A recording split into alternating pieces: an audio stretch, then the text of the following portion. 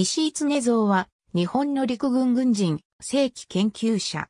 キールに要塞司令官を務めた陸軍少将で、また、正規自供療法を唱え正規の医療への応用を図った。14位訓造島、高4級。福島県若松市に生まれる。福島県士族、石井七四郎の長男。陸軍士官学校7期を卒業し、1897年砲兵少尉、任官。陸軍大学校在校中に日露戦争改正を迎え、第二師団砲兵隊に属し出征。両洋海戦、佐賀海戦、国交大海戦、法天海戦と歴戦した。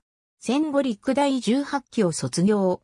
陸軍砲工学校教官、津島警備隊参謀、参謀本部部員、第17師団参謀長を経て、1921年7月、少将へ昇進。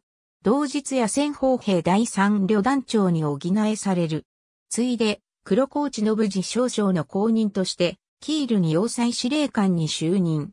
1923年予備役編入となる。地商開票議員。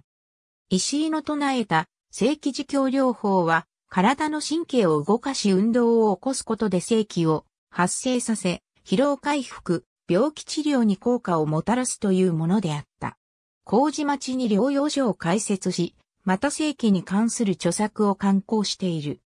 AB、大衆人事録東京編、石井常蔵、財団法人地紹介名簿、日本武道医学専門学院2012年1月28日、閲覧、官報第182号、常任及び、事例1913年3月11日。ありがとうございます。